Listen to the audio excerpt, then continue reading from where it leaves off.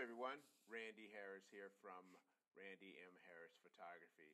And today I'm going to show you how to take a pretty simple image, uh, one that may be on the cusp of a throwaway, and jazz it up and keep it around just maybe to have for Instagram use on those dry weeks when you just need something to post up to stay consistent with your post and things like that. So as you can see, we got um, Boss here, who is one of my favorite test subjects, sitting on a white cyc background. So um, I've already done some basic adjustments, and now we're just going to take this over into Photoshop. So I'm going to go up to Photo, Edit in, and Edit in Photoshop. So I've already done that, so I'm just going to click out here, go over to Photoshop, open that up. Not quite sure what this is here, um, but if I notice if I tap here, it just kind of goes away. So here's our image. I've already cleaned up a little bit of his hair. Like I said, I didn't want to do too much um, because it's just a like I said, it's just a, a user image down the line. Um, so I uh, added a layer with this, uh, this wood grain here, and I am going to activate it, and I am going to switch it over to an overlay. Um, sorry, that is, that is normal, and that is overlay. We're going to make this an overlay. Uh, sorry about that. So as you can see, it's added this wood grain here to the white background is also added to his face and we are going to go in and get rid of that. So what I'm going to do now is add a mask layer and come over here make sure my brush is activated. Make sure it's on black and I am going to come up here at 100% and just start to take this out being careful of the edges here and I'm just going to get out get this out the middle really really fast here. All right, once I get this middle out, um, I'm going to take my brush size down. And you'll see, since the background was um, white cyc or white, and it, everything else is kind of gray, gray, black, that this is just going to blend in perfectly. And by the, like I said, this is going to be probably used for Instagram or something like that. So it doesn't have to be perfect. So I'm just going to kind of run these edges here and clear all this out. Notice I'm not even really being that careful uh, just get right here, take that down, and just kind of clear out. Remember, I'm still here at a at 100%, so I'm getting this out here pretty quick. I'm gonna look over here and I can see I missed something at the bottom here quite a bit. So I'm gonna go in and just kind of brush that away. And as you can see, now we have our background sitting, you know, on that white cyc. So what I'm gonna do is just go up here and go to File and Save. And that's going to take us back into Lightroom. So I'll come over here, go to Lightroom, and click on the image. And there it is. It's back in, hair's cleaned up, and now we have that really cool background there. You know, we can take it out from here and move on, but uh, I'm going to boost it up just a little bit here. So first thing I'm going to do is take shadows, and I think I'm going to take the shadows up to about a 30. And what's going to happen, you're going to see it kind of wash out and start to get a little gray.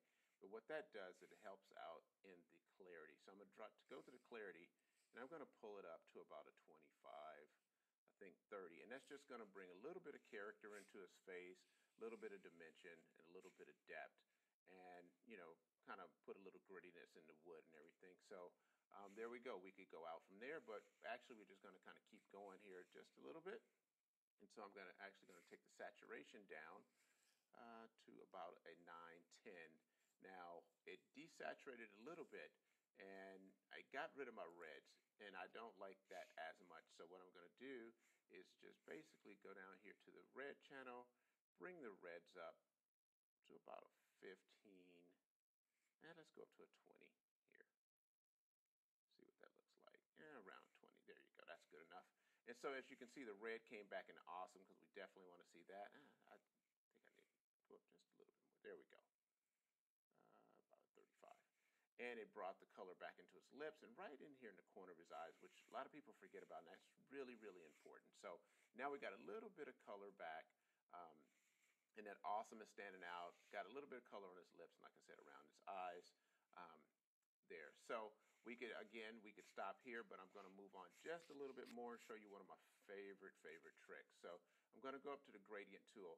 And when we work with single light sources, a lot of times we will bring them down or bring them from one side um, and then gradiate them to the other side. And I'm not a big fan of that. I like a little bit of depth and a little bit of contour in that side.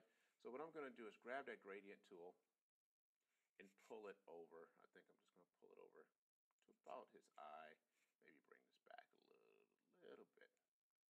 There we go. And I'm going to show you what that looks like. The red part is what's going to be affected here. So I'm going to click off of this and I'm gonna, actually going to go into exposure. And I am going to drop the exposure down just a little bit to darken the side of his face. That may be just a little bit, so I'm going to bring it back up to about a, about a 60, I think. Uh, let's see here. Uh, there we go. Close enough. So now that's dark, but as we can see, if you look up here, it's, it's kind of dark in the background, and we don't necessarily have to settle for that. So what I'm going to do is brighten that up or bring the, the um, mask up then I'm going to actually go over here to brush, make sure I'm at 100%, and go to erase. And I am going to go in and just erase that mask there. As you can see, I'm not careful here. And as I look over here, I can see it's taken out this white, but I can see the gradient in his shirt. So I'm just going to go on and take this gradient out of his shirt here. Try to avoid the neck as much as possible. And it's such it's so slight that if you go in, you really won't be able to see it. I'm gonna drop this down just a little bit so it's not quite as big. I'm just gonna run it right along his neck and ears here. There we go. Drop it down a little bit more. Get that get that out of there. So now everything is clear except for that little bit of darkness on the side of his face. Let's close that out.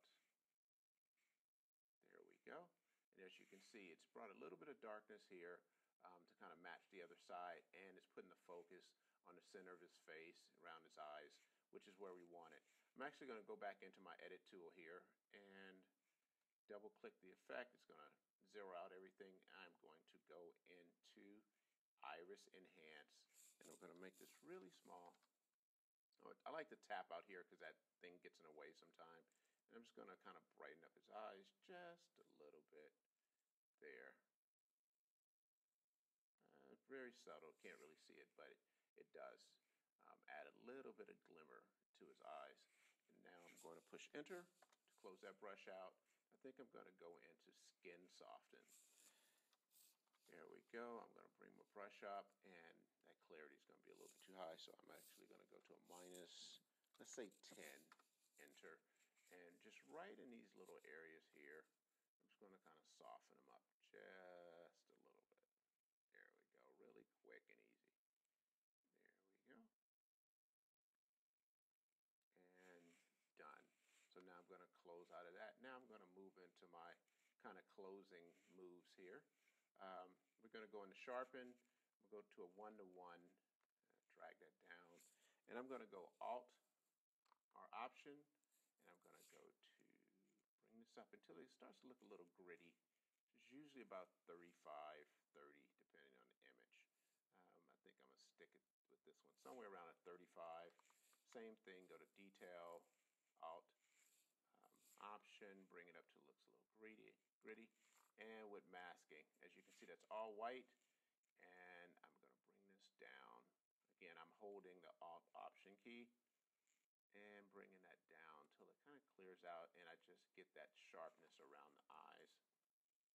I tend to add a little bit of noise reduction regardless, just kind of one of my habits. And for the most part, it's only about a five. Um, and then we are going to go to fit priority. I'm going to bring just a little, little bit there. All right, I'm going to come back up here. And I'm going to look it over, and I, I really like what I see here. Um, I like the colors. Uh, I think I'm going to actually bring